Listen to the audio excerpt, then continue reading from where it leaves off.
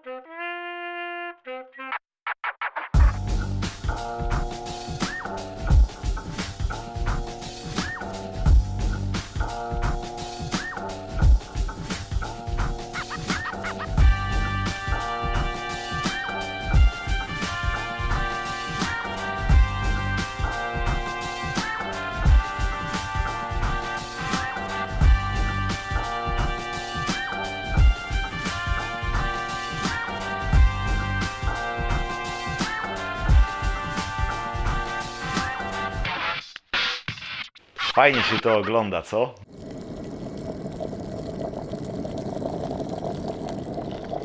Skoro to oglądasz, to pewnie też chcesz umieć robić takie rzeczy. Lub dlatego, że nie masz niczego lepszego do roboty.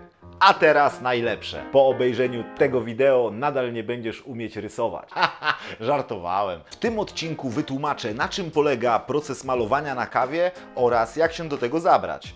Pokażę Wam ćwiczenie, które wykonywane regularnie podniesie Wasze umiejętności malowania na kawie oraz pozwoli zrozumieć, na czym w ogóle polega latte art. No to zaczynamy! Pierwsza sprawa to ilość mleka w dzbanku. Najlepiej po spienieniu mieć odmierzoną ilość na przygotowanie jednej filiżanki. Pozwoli nam to lepiej kontrolować strumień mleka, którym będziemy malować.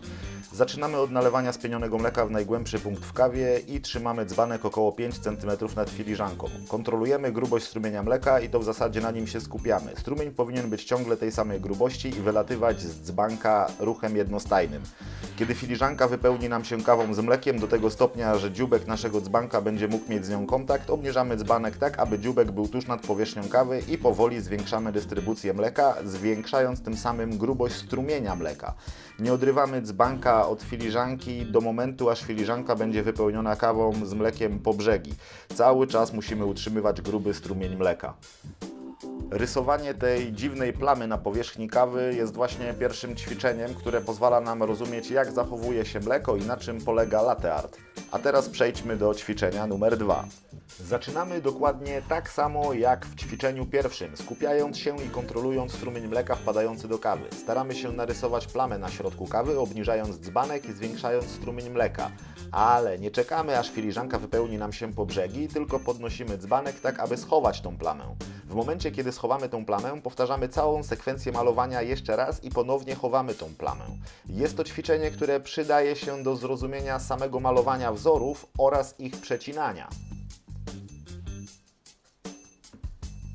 To, co zobaczyliście, to jedno z paru ćwiczeń, które proponuję dla osób, które chcą rozpocząć swoją przygodę z latte art. W następnych odcinkach pokażę Wam kolejne ćwiczenia i jak rozwijać umiejętności latte art. Myślę, że te rzeczy mogą przydać się również też profesjonalnym baristom. A teraz pokażę Wam, jak spienić mleko bez wykorzystania ekspresu ciśnieniowego. Zobaczcie. Wlej do French pressu ciepłe mleko w temperaturze około 60 stopni Celsjusza. Tak trochę za połowę objętości całego naczynia. Załóż tłoczek i wykonuj przez chwilę ruchy góra-dół przez cały zakres objętości French pressu. Następnie działaj tłoczkiem w zakresie od połowy do samej góry, tak aby dobrze mleko napowietrzyć. I co parę ruchów przemieszaj tłoczkiem pianę z mlekiem, które jest pod spodem, działając ponownie w całym zakresie naczynia. Powtórz parę razy wcześniej wykonywane ruchy i po paru chwilach mleko będzie idealnie spienione do latte art. Ode mnie jeszcze taki dodatkowy tooltip. Możecie sprawdzić, jak zachowuje się zimne mleko. Otóż da się tak samo spienić, a dzięki temu będziemy mogli malować zimnym, spienionym mlekiem i no może teraz akurat na zimę to nie jest dobry pomysł, ale na lato jak znalazł. Najgorsze w ćwiczeniu latte art to chyba sama chęć narysowania jakiegoś wzoru. Dużo czasu mi zajęło, żeby zrozumieć, że sęk tkwi nie w tym, żeby wykonywać dane wzory, tylko żeby zrozumieć, jak one powstają. Czy wiecie, co to jest? Karton pełen zabawy. Z mojej strony na dzisiaj to wszystko. I pamiętajcie, najważniejsze w latte art to zrozumieć mleko. Cześć! I knocked on her door, she said, What you for? I heard you was looking for a king.